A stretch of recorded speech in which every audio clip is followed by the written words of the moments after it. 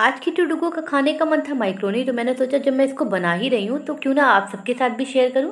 तो बिना किसी वेट के चलिए बनाना स्टार्ट करते मैंने वेजीज ऑलरेडी चॉप करके रख ली थी तो मैंने वही वेजीज डाली, जैसे अनियन डाला है चॉप चिलीज़ डाली हैं, डाला है कैप्सिकम और टोमेटो। आप चाहे तो और भी वेजीज ऐड कर सकती हैं जो आपके घर में अवेलेबल हो। अब आपको क्या करना है? गैस को ऑन करके मीडियम फ्लेम पे हमें अपनी कढ़ाई के ऊपर रखनी है। फिर ऐड करना है ऑयल। ऑयल की गर्म होने पे हमें अपनी सारी वेजीज वन बाय वन डाल देनी है अपनी कढ़ाई में। Accept tomato. टोमेटो मैंने बाद में ऐड किया अब आपको हल्का सा नमक डाल के इसको दो मिनट के लिए ढक देना है। अब हमें इसमें ऐड करना है टोमेटो। टोमेटो के साथ ही हमें मैगी मसाला अपना ऐड कर देना। और इसको ढक देना है जब तक अच्छे से हमारा टोमेटो सॉफ्ट ना हो जाए। और ध्यान रखिएगा टोमेटो को हमको अच्छे से सॉफ्ट करना है।